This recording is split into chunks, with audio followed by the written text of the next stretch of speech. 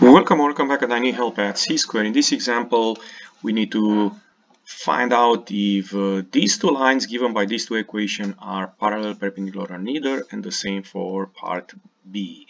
How are we going to find that? We're going to have to find the slope of each line and see if they are the same slopes, then we have parallel lines. If they are negative reciprocal, then they are perpendicular. If the slope are not the same and they are non-negative reciprocal then we have the last choice which is neither. So for that reason you take each equation. So for example I'm going to take the first one for x plus 3y equals 63 and you want to solve for y. So how are we going to solve for y? The first step will be to subtract 4x to get rid of the positive 4x always start with the x terms and the last step here to solve for y will be to divide by 3,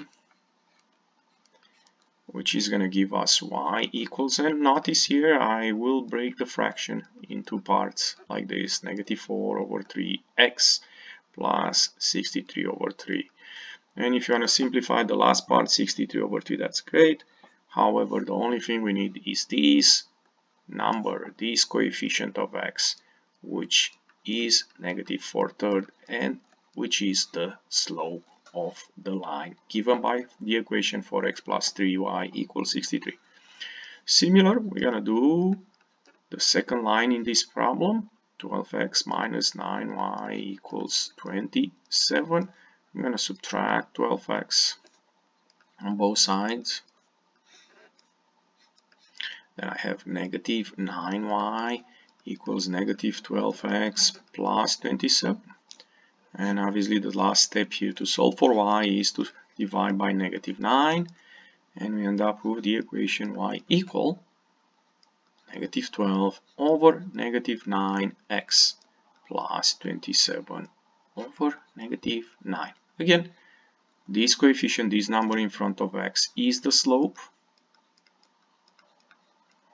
You notice we have two negatives which they cancel out. So we have 12 over 9 and both 12 and 9 are divisible by 3 we can simplify and we get 4 thirds.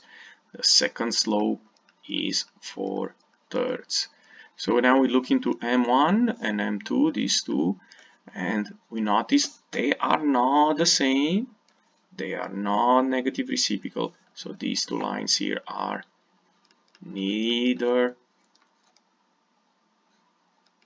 parallel nor perpendicular. They just intersect. Let's go to this part B where we need to find out if these two lines are parallel, perpendicular or neither. For this one I'm going to use a graphical approach first because I think it's easy and fast.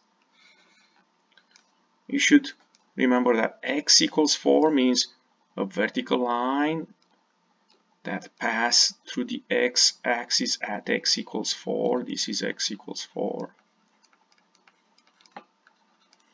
And y equals negative 2 is a horizontal line that pass at y equals negative 2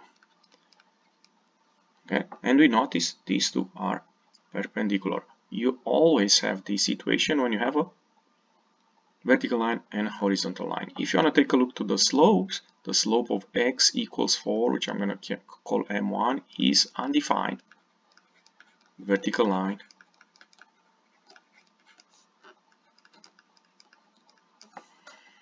Okay and for the second one y equals negative 2 the slope is 0 these two are negative reciprocal.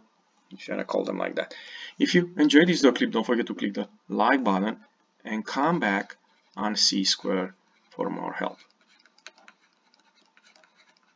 Thank you